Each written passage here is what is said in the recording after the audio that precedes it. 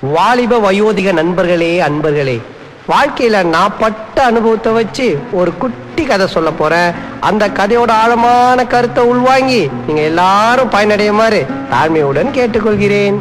இது நான்.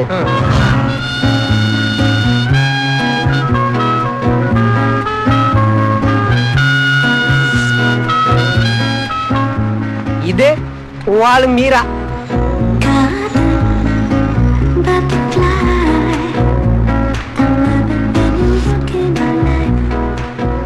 இது நீ.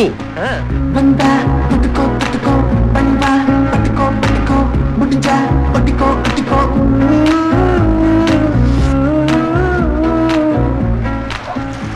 இப்போ ரெண்டு பேரும் ஒன்னாயிட்டீங்களா இப்ப பார்.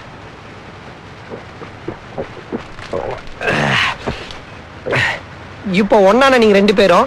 ஏன் மனசுல இருக்கீங்க? ஆனா உங்களை சேர்த்து வச்ச நான் எங்க இருக்கேன்? குப்பை தொட்டில மச்சான் தட் இஸ் த லைஃப் காதல்